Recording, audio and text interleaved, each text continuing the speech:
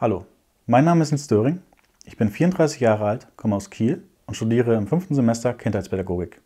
Außerdem bin ich seit kurzem Chancenpate. Als Chancenpate bin ich ein Mentor für Menschen mit Migrationshintergrund. Ich bilde zurzeit mit dem 24-jährigen Yamen aus Syrien ein Chancenpatenteam.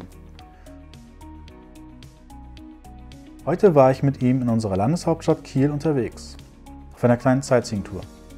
Nach unserem Abstecher am Schleswig-Holsteinischen Landtag waren wir noch an der Uni. Jamens Deutsch ist schon ganz gut, aber manchmal braucht er noch sprachliche Unterstützung. Zum Beispiel, wenn es um bürokratische Angelegenheiten geht.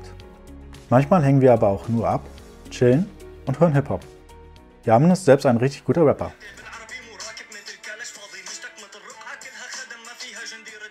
Chancenpate ist Teil des Projekts Menschen stärken Menschen, initiiert vom Sozialdienst muslimischer Frauen. Dort werden die Chancenpaten auch geschult. Man lernt, was man für Aufgaben hat und wie man sich in der Patenschaft verhält. Außerdem bekommt man vermittelt, welche Hilfsangebote es vor Ort gibt.